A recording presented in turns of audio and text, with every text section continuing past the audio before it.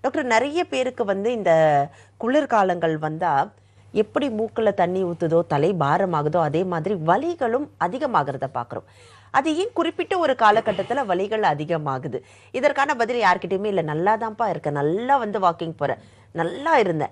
இந்த குளிர்காலம் ஆரம்பிச்சது. கொஞ்சம் கொஞ்சமாக வலி அதிகமாகி இப்போல்லாம் வந்து நடக்கவே முடியறதில்ல.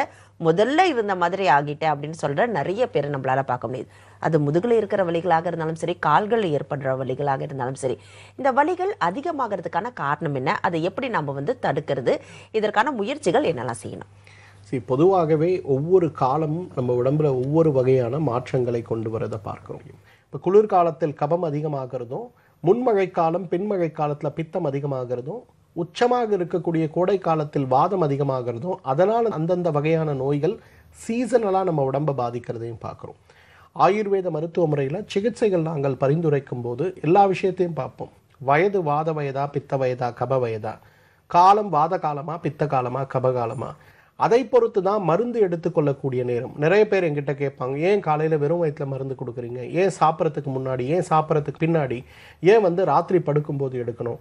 ஏன் காலை ஆறு மணி மாலை ஆறு மணின்னு கொடுக்குறீங்க? ஏன் சில நேரங்களில் ஒரு நாளைக்கு ஐந்து வேலையின் மருந்துகளை பிரித்து கொடுக்குறீங்கன்னு? ஒவ்வொன்றுமே நோயுடைய தன்மை நோயாளியுடைய வயது நோயுடைய வயதுன்னு சொல்லக்கூடிய ஆரம்ப நிலை மத்தியம நிலை முதிர்ந்த நிலை அல்லது பக்க விளைவோடு ஏற்பட்டிருக்கக்கூடிய நிலை இந்த மாதிரி ஒவ்வொரு விஷயத்தையும் அனலைஸ் பண்ணி தான் நம்மளோட ட்ரீட்மெண்ட் இருக்கும். ஸோ இந்த குளிர்காலத்தில் நமக்கு ஏற்படக்கூடிய கபம் சார்ந்த நோய்கள் அப்படின்னு பார்க்கும்போது கபத்தால் ஏற்படுகின்ற நுரையீரல் மண்டல நோய்களும் கபம் சார்ந்த தோல் நோய்களுடைய சீற்றங்களும் அதைவிட முக்கியமாக இன்றைக்கு மூட்டு வலிகளும் முதுகுத்தண்டு வலிகளும் முடக்குவாத நோயாளிகளுக்கான மிக மோசமான ஒரு சூழலாகத்தான் இதை நம்ம பார்க்குறோம். ஸோ முறையான ஆயுர்வேத சிகிச்சை. நான் ஏற்கனவே ஒரு நிகழ்ச்சியில் செஞ்சேன். இந்த சீசனில் பேதிக்கு மருந்து எடுத்து உடம்பை சுத்தப்படுத்தக்கூடிய ஒரு விஷயத்தை நம்ம எல்லாருமே செய்யணும்.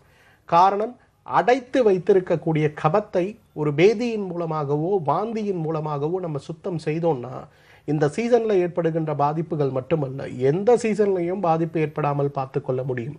நான்கு மாதத்திற்கு ஒரு முறை பேதி மாத்திரை சாப்பிட வேண்டும். இப்போ ஒரு முறை சாப்பிடணும் மார்கழி மாதம் முடியறதுக்குள்ளே ஒரு முறை சாப்பிடணும் திருப்பி சித்திரை மாதத்திற்கு முன்பு ஒரு முறை சாப்பிடணும் மூன்றாவது ஆடி மாதத்தில் ஒரு முறை சாப்பிடணும். இந்த மூன்று முறை உடலை சுத்தப்படுத்தக்கூடிய ஒரு சிகிச்சை பண்ணிங்கன்னா முதல்ல இப்போ சாப்பிட்றது கபத்தை குறைக்கும்.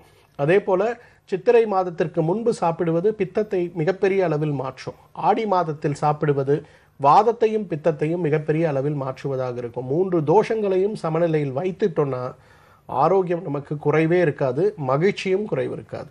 ஸ்ரீவர்மா ஆயுர்வேதா மருத்துவமனையின் வெல்னஸ் குருஜி அவர்களை டிசம்பர் மாதம் நான்காம் வாரம் இருபதாம் தேதி செவ்வாய்க்கிழமை காலை ஏழு மணி முதல் இரவு எட்டு மணி வரை அம்பத்தூரிலும் இருபத்தி இரண்டாம் தேதி வியாழக்கிழமை சேலத்திலும் இருபத்தி மூன்றாம் தேதி வெள்ளிக்கிழமை திருப்பூரிலும் இருபத்தி நான்காம் தேதி சனிக்கிழமை கோயம்புத்தூரிலும் சந்தித்து மருத்துவ ஆலோசனை பெற தொடர்பு கொள்ள வேண்டிய தொலைபேசி எண்கள் பூஜ்ஜியம் நான்கு நான்கு நான்கு ஆறு பூஜ்ஜியம் ஒன்பது நான்கு ஒன்பது பூஜ்ஜியம் பூஜ்ஜியம் ஒன்பது ஐந்து பூஜ்ஜியம் பூஜ்ஜியம் ஒன்பது நான்கு ஆறு ஆறு மூன்று நான்கு ஒன்பது ஐந்து பூஜ்ஜியம் பூஜ்ஜியம் ஒன்பது நான்கு ஆறு ஆறு மூன்று ஐந்து. ஸ்ரீவர்மா ஆயுர்வேதா மருத்துவமனையின் சிறப்பு மருத்துவர்களிடம் தொலைபேசியில் மருத்துவ ஆலோசனை பெற்று மருந்துகளை தபாலில் பெறலாம்.